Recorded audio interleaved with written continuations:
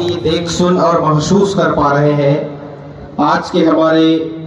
अतिथिगण पहुँचे हुए हैं और आप सभी लोगों को मालूम है कि रेला का उद्गम, रेला पाटा का उद्गम जो है सेम्बल पेड़ का जिसमें विशेष महत्व, मुठवा पारी, पहदी कुपार लिंगोजी ने जिन्होंने निर्माण किया था और उनको स्मरण करते हुए उनको उनका आशीष लेते हुए द्वितीय दिवस का कार्यक्रम को प्रारंभ करने के लिए हमारे सभी पदाधिकारीगण विशेष सेवा अर्जी करते हुए और आज का ये द्वितीय दिवस कुछ ही क्षणों पश्चात आज के जो प्रतियोगिता है, लगातार चलेंगे, जिसमें तेरह से चौदह टीमें हिस्सा लेंगी।